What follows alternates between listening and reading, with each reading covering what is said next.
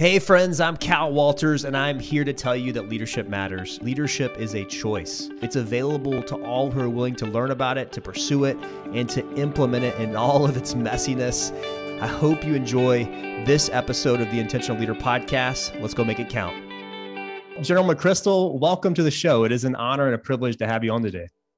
Cal, it's my pleasure. And call me Stan, please. Okay. I'm a retired guy now. okay. All right. We'll do. Um, well, sir, Stan, it is, uh, I really am excited to talk to you. One, because of the leadership experience you have, but also just the, the time that you spend thinking about leadership. And I really enjoyed your book, Leaders. And, you know, I think one of the things that's unique about you is you're, you're very nuanced in the way you think about leadership. And I think part of that is your experience, but also just the way you look at people in their context.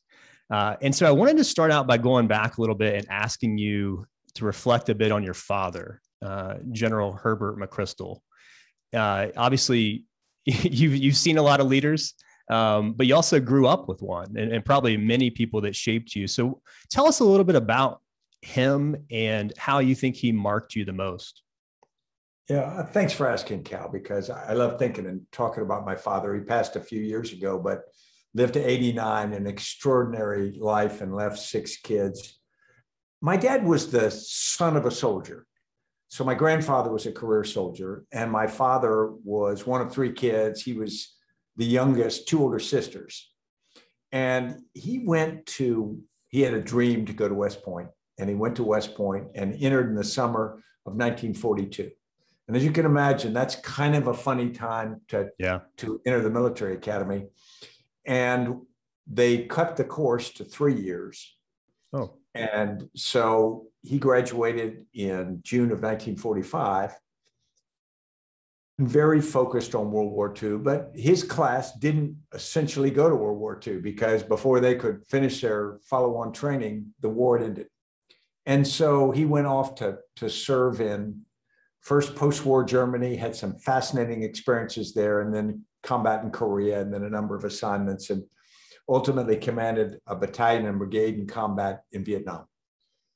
Now, the thing that was impactful about my father is, like a lot of people's father, he was my hero, and he was a soldier, and I knew that he was a good soldier, an infantryman, but I was never around him soldiering much because my first memory is I was age three and we had just moved to the Washington, D.C. area so we could serve in the Pentagon.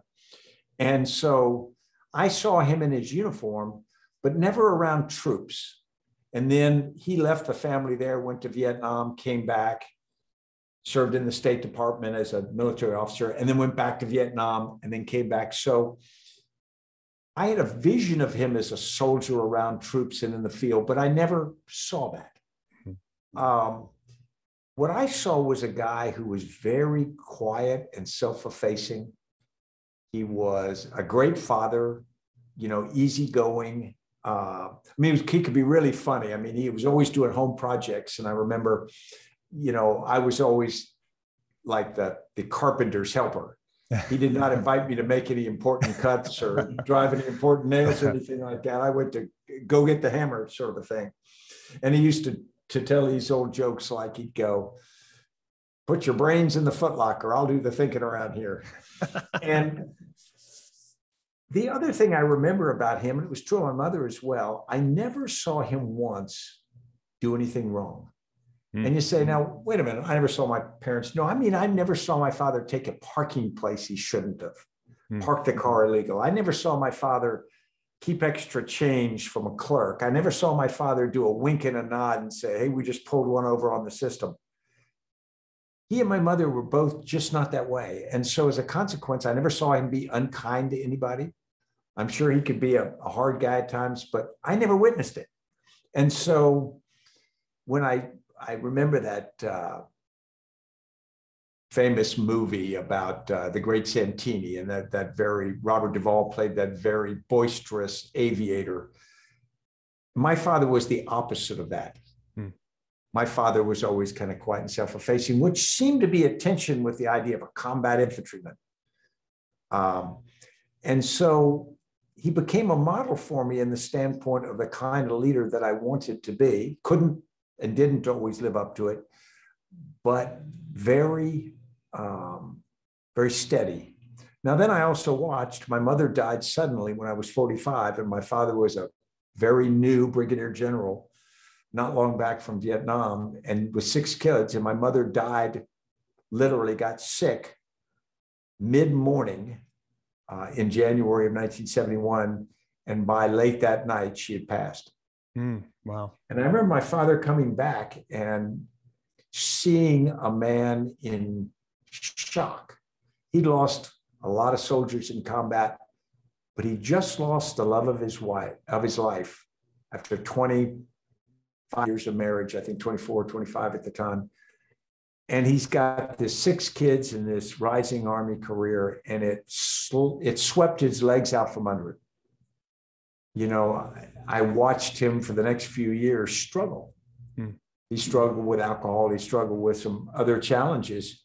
And he finally, after a few years, got right and lived the rest of his life very happily. But I watched how easy it is for a good person, a good man, to be so impacted by things of life over which he had no control. Mm-hmm. How old were you when your mother passed away? I was 16. 16, and, okay. Uh, had two younger brothers and then three older siblings. Okay. Yeah, it's interesting that you mentioned his kindness. When I before this interview, I actually reached out to Ryan Hawk about you. I was asking him what stood out most to him about your leadership, and he mentioned your kindness. Uh, I wonder. So, one of the things that I, I could imagine is challenging as a very senior leader in the military is keeping your ego in check. Uh, you you rise through the ranks, you get the stars on your chest. Now you're the you know founder and CEO of a successful company. How have you been able to keep your ego in check? Yeah, I got married. That helps a lot. yeah, amen to that. and and I've got a sarcastic son and three smart ass granddaughters. Um, uh, you know, I, I say that tongue in cheek, but but it is true. When you get senior, you do have that danger of starting to believe your own press releases, sort of a deal. You start to think because people salute and they bow and scrape and they're ready when you're there that that that is deserved by you because you, after all, are a really great person. And the danger is starting to believe that and realizing that they're actually bowing and scraping for the four stars you wear, which is just based on the position that you hold. And so it's really important to have people around you who will tell you that the emperor is not only naked, but stupid. uh, to have somebody who will tell you you're wrong. And so there's that first part of it. But, but this is a balance because I say that and it sounds easy. But at the same time, organizations and followers want a leader who shows some self confidence. Mm-hmm. So you don't want a leader who is so timid and so unsure of themselves that and so humble that they can't get things done. So there's a balance that you've got to be confident for the organization, confident in what your role is going to be, but don't confuse it with who you are. Don't start to believe uh, something that isn't true. And then the last part I'd say is what I tell people. They ask me what the most important part of leadership is. I'd say self discipline, because we typically know what the right thing to do is, how we should treat people, how we should interact. And when we don't, it's often just because we have that either moment or in some people more than one moment of lack of self discipline. Mm-hmm. When you you can be a jerk and get away with it because no one will stop you and the only thing that keeps you in check is your self-discipline. And if you don't, it doesn't happen. And, and I, my big, my moments of greatest disappointment, and I'm guilty of it all the time, not, not every minute, but routinely. Mm-hmm. I will treat somebody in a way I know I shouldn't have treated them. And then after it, I will immediately say, you know, and I tend to joke, I say, that was the bad Stan. And I shouldn't let bad Stan out. Mm and and when I have a good day, he doesn't come out much. And when I have a bad day, he's too he's uh, he's out more often. Yeah, I think that uh, it reminds me of something John Maxwell said. You know, we all have good in us, and certainly we all have bad in us. And I think that demonstrates humility. That I think that is certainly one way to keep yourself humble is knowing I'm I'm not all good. There's plenty of plenty of bad in me, and sometimes the bad Stan comes out. Sometimes the bad Cal comes out. Uh, certainly, to your point about uh, a spouse, I, I, can relate to that for sure. Um, I, am curious. Your, you mentioned your dad and just how he you never saw him do anything wrong. Did he talk about that? Did he did he did he talk about the importance of that, or did he just model it? Modeled it. I, I never remember my parents sitting me down and telling me what kind of person I should be or what kind of man. There would be little conversations when I was doing something wrong or stupid, and they would give feedback that was, you know, corrective in nature. Um, when I was a, a, I think 12 years old, I was playing Little League Baseball in Arlington, Virginia. And I was just good enough to be one of the better players on my team. And, but not half as good as I thought I was. And so I started getting fairly pumped up about myself. And I remember at one point, I think it was my father who said, because I was opining about how the team ought to be run. And he says, You can play or you can coach, but you can't do both. That's good. and he would do it. He wouldn't pull me aside. It was it wasn't a big father son talk, but it was just sort of a mm-hmm. a sarcastic jibe, and I got the message. Yeah, I love that. I uh, as I was doing my research and preparing for this, uh, it made me think. When I was at West Point, I did not go in thinking I was going to go infantry. In fact, I was kind of the exact opposite. I didn't have any military in my family. My my granddad served in World War II, but other than that, like I, I and this is embarrassing to say, I hardly knew what West Point was.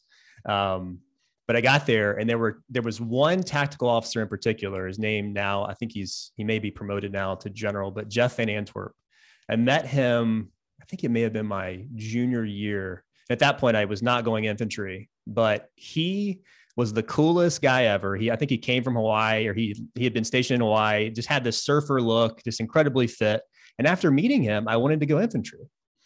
And it, it made me think about your experience a little bit with Major Baratto, uh, tactical officer at West Point. And I was curious if you could just tell us about how he impacted you as a tactical officer at West Point. Absolutely. But let me first tell you how we impacted Jeff Van Antwerp. Oh, no. Uh, my nephew, uh, who's now an Army colonel, was just graduated from West Point. I was stationed at Fort Benning as the commander of the 75th Ranger Regiment. And so these second lieutenants come down and they hang out at our house because there's food and beer and that sort of thing. Naturally. Yeah. And we had a friend of ours just down the street who had a bunch of daughters. And so one of them, very, very attractive young lady, my wife, who's the ultimate matchmaker, says, Wow, we need to have her over when we're having these lieutenants over. And she and Jeff now, I think they have seven kids. Yeah. No way. so we brag about that, say we caused that one. Oh, and wow. That's awesome. Jeff's father lived next door to me at Fort uh, uh, McNair as well, great soldier in his own right. Wow. Um, yeah, Major Baratto, this is an interesting story because he became Major General Baratto and a hero and friend of mine. But I had been my first two years at West Point, and unlike you, I didn't know a lot about West Point, but my father had gone, so I thought I knew a lot about West Point. so I went to West Point not taking the place seriously because I went to West Point thinking that it was a, a short stop on my way to being an infantry lieutenant and going to Vietnam, which mm-hmm. is what I wanted to do. But I get to West Point. West Point, as you know, takes itself very seriously. So the for the first two years, I got in a lot of trouble. I got what they call slugged while I was still in beast barracks as a new cadet, which is kind of impossible, but I did. And then over the next two years, I got four major slugs. And so I came within a hair's breadth of getting thrown out on the number of demerits that I had my, my yearling or sophomore year. And I was only saved by the fact that the way a tactical officer wrote up my final big transgression he wrote it in words that gave me a much smaller punishment than he might have. and so, as a consequence, I didn't go over in demerits and I survived my uh, sophomore year. And so, I came to the beginning of my junior year sort of as a convicted felon, you know, on probation. And that's the way some of my classmates thought of me. And my grades were lousy for my first two years as well. And I went into the the uh, first meeting with the new tactical officer. We'd had a tactical officer for the first two years. Now we had a new one. Everybody kind of wondered about him. So he has each cadet in for a personal counseling session. And he brings me in, and I sit down across from this guy, and he'd been in special forces in Vietnam. And he was kind of soft spoken. And he said, I've looked at your record. And he says, I think you're going to be a great leader as a cadet. And I think you're going to be a great Army officer. And I remember kind of craning my head on to see if he had the wrong file. I said, Do you know who you're talking to? He says, I do. And I said, Well, okay. Well, on what basis do you do you make that judgment? Because not everybody would make that judgment. And he said, Well, let me tell you what I see in you that I think is going to do that. And he described those positive things I'd had in my, my record to date. And my peer ratings were, were very strong and things like that. And he goes, Nope, you're going to do great. Stand and watch. And it was interesting, partly because of that conversation, partly because I just started dating the, the girl who's now my wife of 45 years. Um, that sort of put me on the straight and narrow. Major Baratto's confidence in me. And then the fact that we, maybe I committed every transgression you could. And so there was no original sin left. So my last two years, I went from being you know, sort of a, a screw up at the bottom of the class to suddenly being dean's list and being, you know, relatively successful for the, for the final two years. It was a, it was a pretty interesting shift. And a lot of more factors outside my control, but the reality was he was a big part of it. And I, he became another person I wanted to be like. And later, when I was a lieutenant, I uh, was in the 82nd Airborne, been there for 18 months or so, almost two years, and I shifted to Special Forces to join his battalion. He was a battalion commander in Special Forces, and that was a great experience. Now that you've spent a lot of time thinking about leadership, how important is that to have someone that you want to be like? Is that do you think that's an important part of development for a young leader? I think it's essential. You know, we have to have some idea of what we can be and what it would be like were we that. I used to tell young soldiers when you ask them to reenlist, and I, you know, you you lay it out. I want you to reenlist in the army, and they go, "Well, I didn't like it much." I said, "You were a private. I'm not asking you to reenlist as a private. Everything going forward, unless you do something really bad, is going to be as a sergeant, a senior sergeant, whatnot. Life's going to be very different. So don't look back, look forward, and decide if that's the life you want. Similarly, when I was a, a, young lieutenant and captain, I would look up and I'd see if I wanted to be like the captains and the majors and the lieutenant colonels that were above me. And as, as I'm sure all of us have, I ran into some that I said, I really would like to be as much like that as possible. You can never try to model yourself completely, but there are ways that they act, things they do, competencies they, they've developed that give you a model that can go forward. Now, this also gets to some of the social things about, you know, diversity and whatnot, and why we've got to have role mm-hmm. models. That looked like us. There yeah. were a lot of white male role, role models in the army for me to choose from. A female officer or a minority had a much smaller population they could look to, and that's why it's so important. Yeah, it makes me think. Uh, I was in a course two years ago. It was a group of judge advocates. We were uh, Army lawyers, and we were all in a big group, and we were all majors, so kind of mid level management. And uh, one of the black judge advocates, Jags, uh, mentioned, you know, we were having a kind of a honest conversation about diversity. And he said, you know, when I look at the senior leaders, I don't see anyone that looks like me. And it was the first time, and it's amazing how stories stick with you and how they impact you. But it was the first time I'd ever thought about that as a white man in an organization led by, you know, very great, high character white men. Uh, but it, that that shifted my perspective for sure. Because how different would it be? How would you view your future in an organization if you don't see anyone that you could be like, or that at least you can kind of relate to in a direct way like that? So that was, uh, yeah, I think that that highlights the importance of it. Um, I'd like to ask you. So, when I look at your story uh, and, and the way your Army experience finished uh, at, at, at commanding uh, the forces in Afghanistan, one of the things that's most impressive to me is your transition and the way you were able to transition from kind of an abrupt ending to your career into teaching at Yale into now leading a very successful private sector organization. And I think it's a great example of personal resilience. So I wonder if you could talk to us, especially for all of us who are, you know, struggling a little bit right now as we're navigating through COVID. What can we glean from how you navigated the end of your career to transitioning into into this you know, really landing not just on your feet but in a, in a very impressive way showing an ability to succeed in both the military and the private sector? Yeah. Cal thanks for asking. And and i'm really happy about the way it's turned out. And a lot of your listeners won't remember. To me it was yesterday but for many who are younger my career ended when an article came out in rolling stone magazine that depicted my command group the people around me as having a locker room attitude and being dismissive of senior leaders, Vice President Biden and whatnot, and not being professional. And many of these people I'd been around for many years in combat together with, uh, type team. But the reality was, this article came out, and uh, I didn't think it was fair, but I knew I was responsible for it.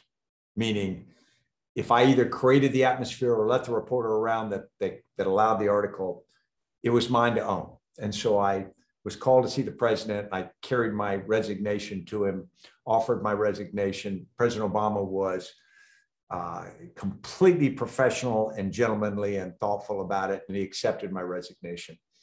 And I'd been in the Army 30 commission for 34 years, and I walked out of the Oval Office, and it's like being hit by a thunderbolt. Everything that I was, a soldier from, I grew up in an Army family, went to West Point at age 17. All my identity as a soldier and as an honorable person and all was now essentially ripped away. And my sense of reputation, because the idea that I was being removed because we were disloyal or unprofessional I always thought I could be killed in war, I could be fired for incompetence. I never would have guessed that I could be associated with that perception. And so, quite honestly, I went through a pretty significant sort of identity crisis. And that lasted about 20 minutes. Because because I got in the car and we drove from, I just flown back from Afghanistan and I had gone to my quarters just long enough to put my uniform, green uniform on and go to report to the presidency, president. And I get back to the, the quarters and I've got to tell my wife Annie of then 33 plus years of marriage that our the life she'd signed up for and been part of was gone. And she stood in the the uh, entrance to the home and she said, "Good, we've always been happy and we'll always be happy." And it was shocking because I think most people would expect their their best friend to come say, you know, give them a hug and say, I feel sorry for you, or you got screwed, or, or something like that, you know. Mm-hmm. Yeah. And she didn't do that. She just said, okay, we move on. And she's been that way every moment since then. And what that did for me is, you know, clearly I went through a period of sort of grieving over what I'd lost because I had a career that I was proud of. I had a reputation I was proud of. And in an instant, it was either gone or endangered. But what we made the decision to do, and we never sat down and had a conversation about it. We did it by our actions, but but Annie and I made the decision that we were going to focus forward, and that what we were going to try to do was instead of going back and relitigating, that's for a lawyer there, um, relitigating the past and arguing, we were just going to say, okay, that happened. I am going to conduct myself in a way that anyone who ever meets me in the future who read that article will go, doesn't seem like that person described in that. Hmm. That doesn't match. And rather than arguing about it and whatnot, that's the approach we'll take. And so, and then we decided to do some things like with a with a friend of mine who'd been in Afghanistan. He said, "Let's start a company." And we had no idea what we were going to do. And we said, "Yeah, why not? How hard can that be?" so we, said, yeah, we started a company, and we started doing a bunch of things. I started teaching a leadership class at Yale, and we just started building this new life, all focused on what was important to us, which is the people that we cared about, the people that we'd made commitments to before, and then um, being what I thought I should be, you know, as, as a kind of person. And it was very interesting because that was a a good motivator. I think if I wanted to, I could have gone to a cabin, you know, in the Northwest and sent pipe bombs to people I didn't like, you know, and to show my my frustration. But this was the opposite. And it took a while. I'm not going to say that, you know, it was over in a day or a week or a year. And I can't say that even today, I don't sort of grieve for the fact that my military career, in my view, has an asterisk at the end of it. Mm-hmm. You know, it's he was a good soldier, but and every time someone writes an article about me, usually, you know, they say, well, he did this, this, this, but he was, you know, and that hurts. That hurts a lot. But it doesn't define me.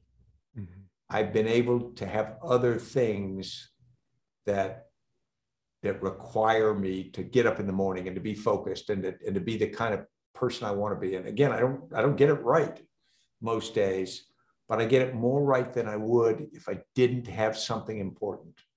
And so my my lesson I always tell people is face forward.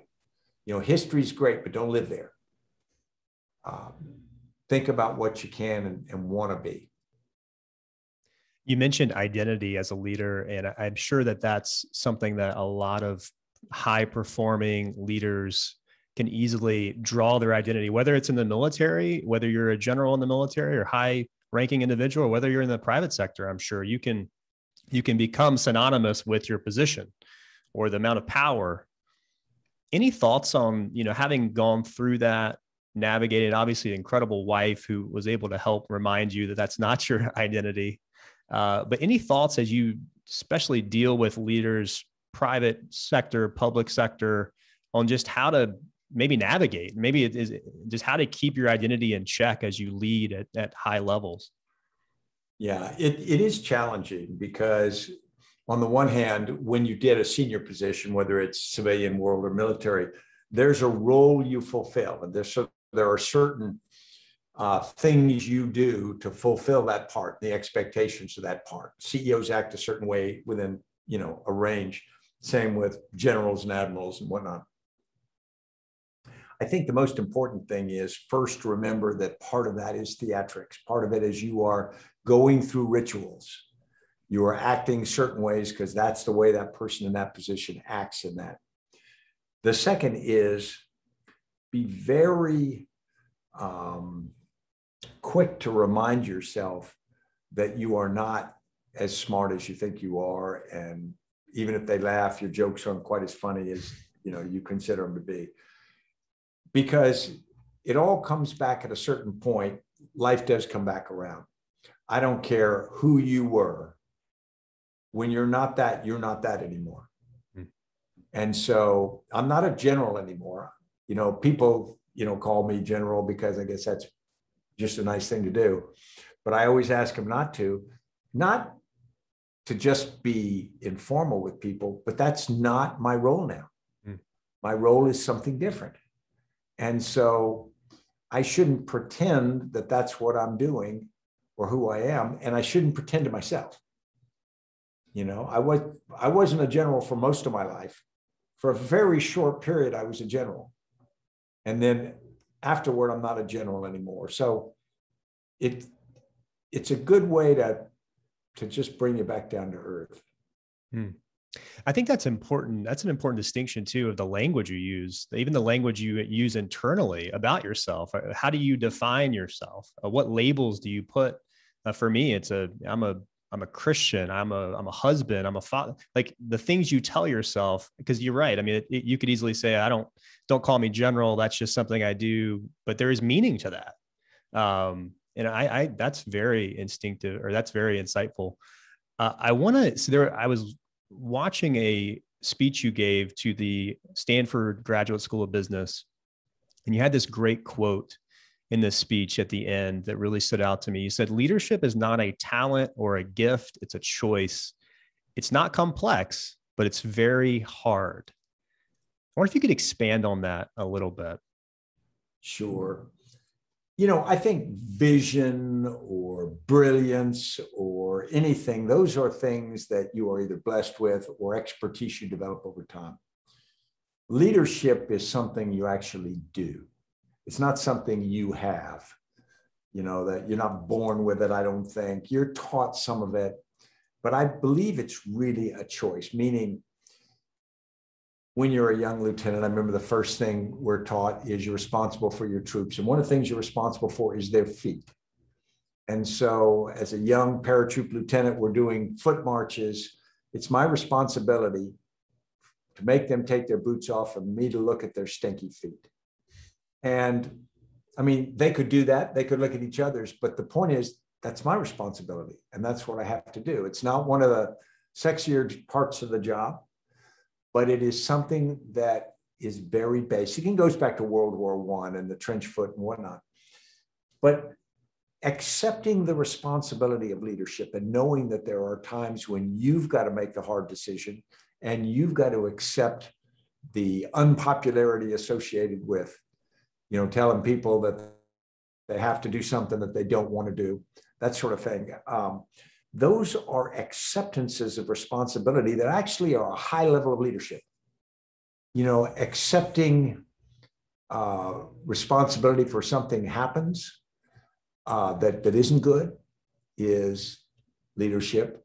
Putting yourself at risk is leadership making yourself sacrifice, whether it's lack of sleep, lack of food, all those things, those are all parts of leadership. And those are choices that you make. And you can talk yourself out of making them. Sometimes you can convince yourself, well, I really don't need to do that because it's not my role. It's more important for me to do something else. But there should be a little voice inside that says, you know, that's I'm really not doing the best leadership now that I could be doing and should be doing. And it gets back to role models. You watch them do that and you go, you know, I'm going to, I hope I remember to do that when I'm in, in that kind of a role. Uh, you, you also say that leadership is not complex, but it's very hard. Tell us about that. Yeah. Um, I think there are complex decisions that get involved in leadership. There are complex issues but the reality is, on most of those, you can get people to help you get the right answer. You know, you can get uh, very experienced people to give you the range of options and all like that. So all you've really got to do is have a multiple choice test and pick the right answer. And usually there's somebody telling you what it is, but you have to make it. You know, you can't, you know, Dwight David Eisenhower planned the the invasion of Normandy. I mean, he didn't actually do all that plan and the detailed stuff, but in the final moments, when he had to make the decision whether to go on the 6th of June or not, he could get advice from everybody, but he had to make the decision.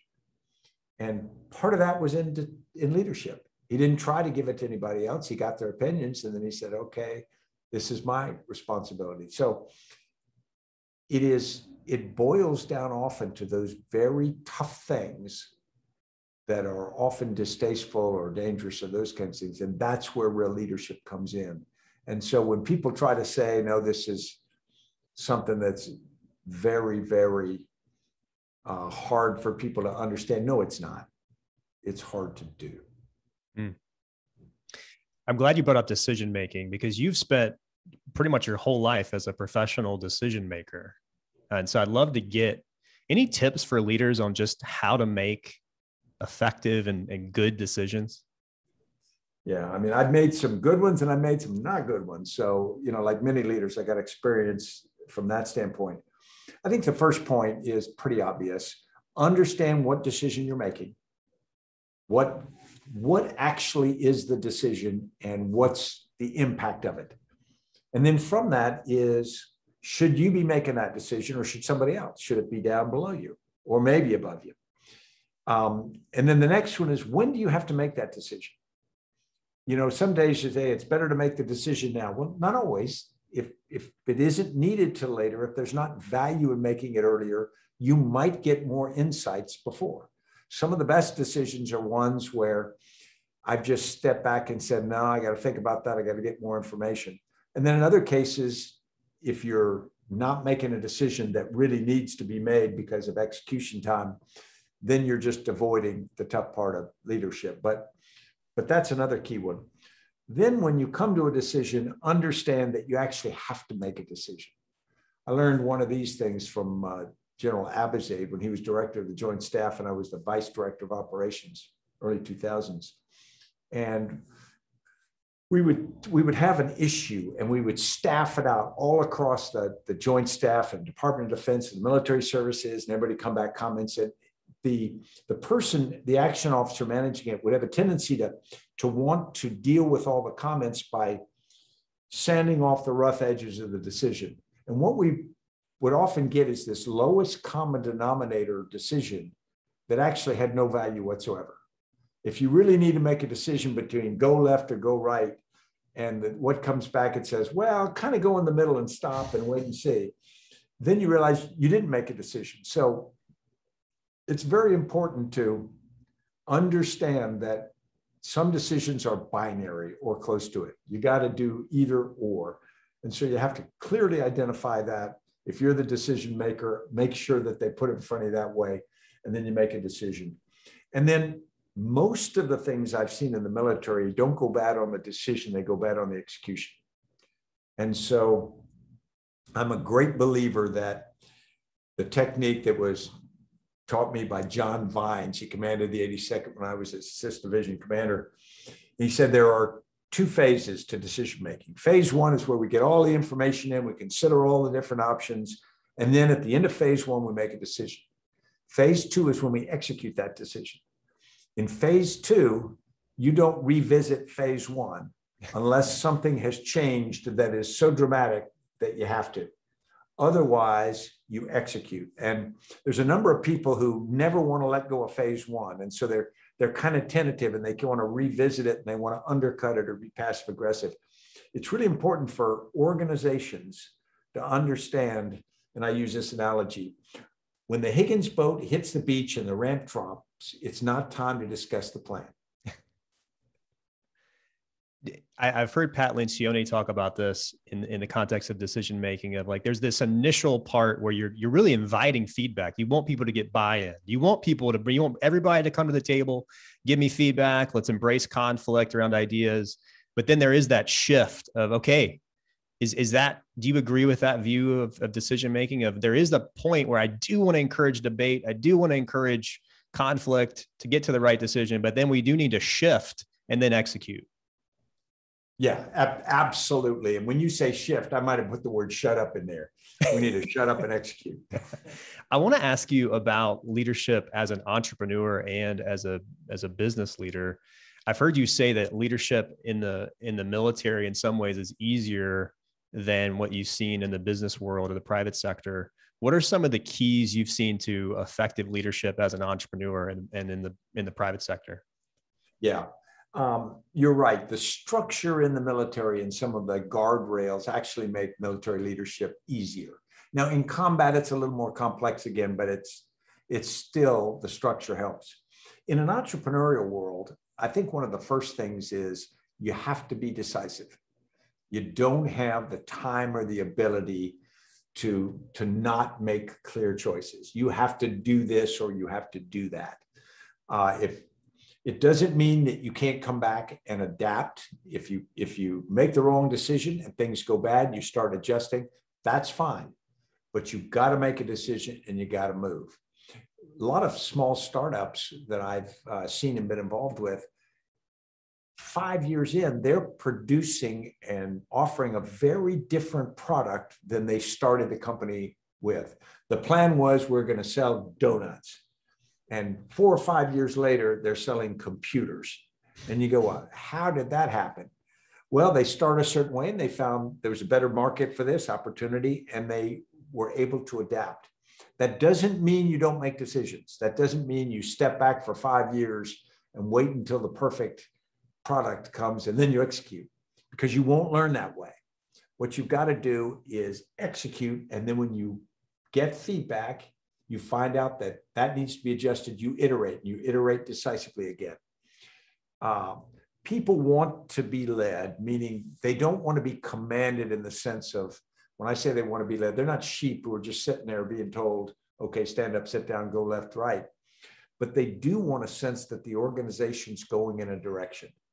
And a lot of times, uh, particularly in the civilian world, if you can provide clear direction and a narrative that supports that, this is what we're doing, and this is why we are doing that. It's very important to the members of the team because they do want to know that we know what we're trying to do here. We have purpose here. And they also understand that there's an underlying logic behind it, whether it's values or, or whatever it is. They want to believe that. And then, then you can unlock a lot of uh, commitment out of people. I wonder if you could take us to one of your meetings. So I, I have heard you say that before COVID, and, correct me if I'm wrong here, but I believe you guys were meeting on Fridays. You would do a big uh, McChrystal group meeting where you'd go over, you know, the the priorities. Uh, and then with when COVID hit, it sounded like you you shifted to a daily meeting, uh, and I, I, believe you've said that's in the morning. Um, I'm just curious if you could could tell us, you know, maybe coach some leaders a little bit of how how often should you meet, and what what do those meetings look like? How long do they last? What what do you what do you say? What do they say? What are the, what's the focus of them? Yeah, it's funny because sometimes you do something and, and when you do it, you know that it's the right thing to do. And you also know that you knew what was right a long time before you actually did it. And, and I go back to when I was in JSOC, Joint Special Operations Command. We had this geographically dispersed organization and we put in a 90 minute a day secure video teleconference for the whole command. It ended up being 7,500 people a day, every day for 90 minutes. Most people just scream when they hear that. They go, that's insanity. But it was a remarkably effective. And it was this conversation across this very globally uh, dispersed element. When McChrystal Group was founded, we're just under 100 people. And we're, we do consulting and a couple other things. So we're geographically dispersed. And we were trying to figure out our own battle rhythm. And so we were doing once a week what we call a Keystone Forum.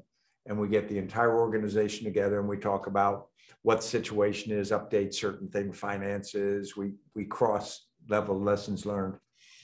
And it was effective, but we were, we always sort of in the back of our minds said, you know, we're not sure we got this right. because, but we thought, well, we're not at war, we're civilians now. So, and then COVID hit. And when COVID hit, our COO made the decision. He says, "Okay, we can't mess around. We got to we got to talk every day because we're not in an office together, even part of us. So we got to get on and, and we'll sync every day." And uh, we started doing that, and we had to to do a lot of adjustment for McChrystal Group to to survive the headwinds that every you know firm ran into at the beginning of uh, COVID. And then we found it was working. It was not only working a little bit, it was working really well. And so then when COVID started to subside, we said, hey, don't, you know, don't lose a good thing. So what we do is we meet every morning for 30 minutes, the entire team. And we've got a very set agenda, and it varies a little bit by day. We have a slightly different agenda each day, but it's run by our director of operations. And the entire organization figures out okay, what's the situation? What are we trying to do? And what are some key information we got to pass? And it's very much everybody talking across as we do this. And then we break. On Fridays, we do longer. We call it extended. We do an hour and a half of it. We go into greater detail on some things. And what it does is it passes information so we can be constantly learning from each other and nimble, but also it builds our culture. It keeps us connected. And we felt that was important during COVID and it's still important. COVID's not completely gone, but even now that part of us are back in offices, that daily bringing the team together into the huddle and checking signals is just incredibly valuable. And technology, if you do it efficiently, will let you do that with sort of low overhead. And it stops a lot of the other meetings that, that might be uh, needed. So when you're in that meeting, uh, what are some key components to it? Because I'm just trying to picture what that might look like. Because I've seen a lot of different meetings. Some meetings are just just putting out, hey, these are my priorities. Some are where we talk about our values, we reiterate values. I'm just curious because maybe get a little more tactical for leaders out there. What what are some key ingredients to those meetings that you think are that other leaders could replicate? It's a great point. Uh, it's a little bit of all of that. So every time we get the meeting together, we start by just showing our priorities and say, here's the priorities now. And if they've changed, we say, if they haven't, okay, just boom. Only takes a little bit. Then we go into some key information everybody needs to know. Call them headlines on the newspaper. Here are four or five things that everyone in this company, maybe it's an upcoming event, a change to something, you need to know, be tracking this.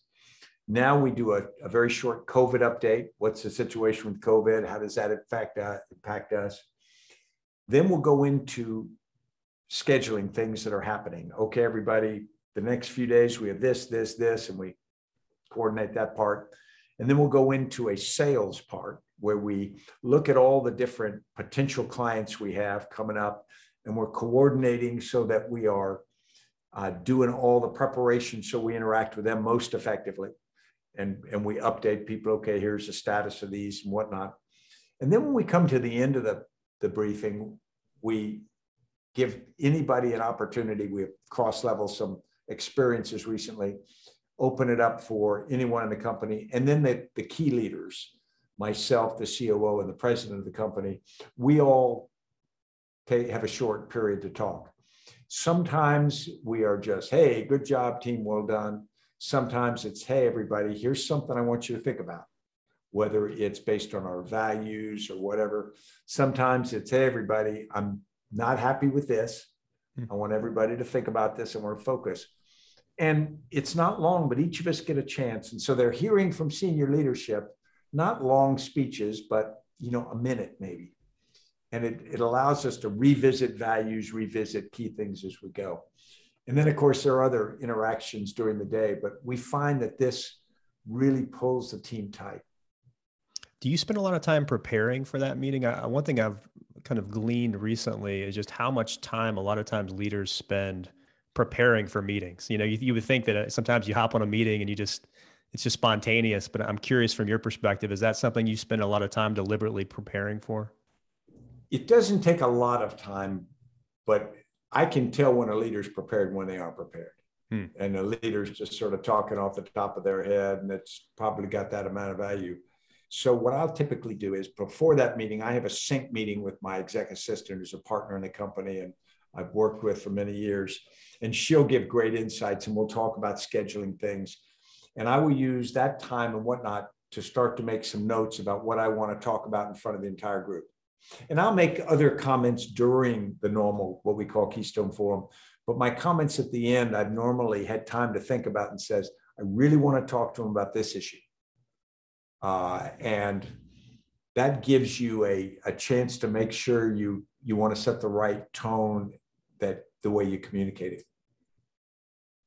So, uh, sir, thanks so much for for investing this much time. I want to do a quick lightning round with you here at the very end. Um, and uh, first question is What is one habit, routine, or ritual that for you has made the biggest positive difference? For me, it's working out. I work out every morning, and, and I'm fairly intense personality, and I find that lets some of the air out of the balloon. If I don't do that, I'm not this. I'm bad stand more more of the day. I can totally relate to that. Are you still are you still getting around four hours of sleep, or is that uh, a JSOC thing? That was a JSOC thing. I now sleep as much as I can. Sometimes not. I was going to say during meetings, but no, I I really try to hit balance now. What time are you typically waking up? I get up about four forty-five, uh, and I, am an, I'm a morning person, but mm-hmm. I don't know what's on late night TV because I never see it. Hmm. What is your top piece of marriage or relationship advice? It's hard work. You know, people talk, they say you meet someone, you fall in love, you get married, and you live happily ever after. And I would say, no, you forgot the part where you got to work at it all the time because you change, they change, situation changes. you can't take anything for granted. So uh, I've only been married once, so I'm not an expert in it, but I've been very happy in it. And I'd say that if you're not working at it, you're taking something for granted that you shouldn't. Mm, that's good. What's your top parenting advice? maintain the relationship. There was a period when my son, I only had one son, my wife and I, and he was a punk rocker with a mohawk, and that the mohawk would cut, change color every so often as he, you know, uh, wanted to have, sport a different look. And at that point in life, I was an active duty Army officer. It's a little upsetting to have a kid who's, you know, looks like that. But we never judged him. We never got in arguments with him. We just kind of laughed and said, you know, we're gonna we're gonna hold this against you someday. We're gonna hold the pictures. Well, we maintained a good relationship, and nowadays he lives next door to me. He works for the U.S. government. You know, he, he looks very corporate, and I give him a hard time about it. Um, but but it's remember that everybody goes through something and, and and give a little bit. You know, don't don't judge or try to oversteer, and and it's worked for us that makes me think of my skater days. Uh, I used to be a big rollerblader, and my dad he would take me. He would take me to the skate park, and you know I reflected on that today. I just really appreciated that he was able to come into my world, even though it was a world he was not familiar with. I, I want to so imagine you're speaking to, but you probably have done this many times, speaking to a group of uh, soon to be college graduates, and you could just give them one piece of advice. What would it be? Yeah, have some experiences while you're young you know, when you're 35 and you have a significant other and you got kids and a dog and a mortgage, there are things you can't do. And so when you're young, go have adventures. You know, do things that will build your experience base and something very different, strange. You know, push the, the limit a little bit because you will be glad you did it later. You can start doing it again when you're 60 and you retire, but you know, there's a number of years when you're more limited what is one thing right now? There's a lot in our country that we could highlight as negative, but what's one thing that you're really excited about with our country right now? We're having a very important conversation about equality, whether it's racial equality, gender equality, economic equality. And not everybody's agreeing on it, but it is so overdue and it needs to be a little sharper than I think it's been in the past. And we need to come to some hard conclusions because at the end of the day, I think one of the great vulnerabilities of any society is if you have inequalities that are built in systemically that people can't overcome because those of us who've traveled around the world and seen places, that's a recipe for a weakened society. And so I think those are the things I'd really like to see us lean into. I'm really excited to hear that you have a new book coming out uh, about risk. Uh, so, in the last just couple minutes we have, I was, I was, hoping you could tell us one about the the new book coming out, where people can find it, and where people can can connect with you and follow you. Yeah, thanks, Cal. It's uh, the title is Risk: A User's Guide. I realize that's an ambitious title, but the reality is, I spent a lifetime dealing with risk but I don't think I ever really understood it. And I don't think I thought about it correctly. And so what we did was we studied that, not just me, but we studied different aspects. And we came out with a conclusion that just like the human immune system protects our body, we have a risk immune system in, in every organization that protects the organization. And most of the time when we get in trouble, it's not the threat that actually causes us a problem or the risks out there. It is the fact that our own immune system is weak we've allowed it to, to not be resilient, to not be strong. And that's all within our control. And so, interestingly, our ability to deal with risk begins at home, and we need to focus on that. And when is the book coming out, Stan?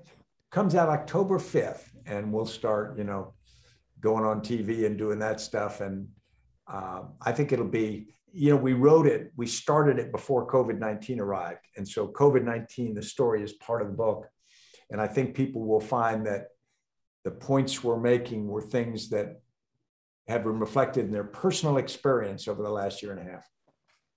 Well, sir, it has been a true honor and a privilege to have you on today. I appreciate the time investment uh, in this group of people listening today. I'll give you the last word uh, if you have any parting advice for leaders, but I just want to let you know I really appreciate your time. Well, Cal, thanks for what you're doing. Thanks for what you do on a daily basis. And thanks for what you're doing with this focus on leadership. It's my honor.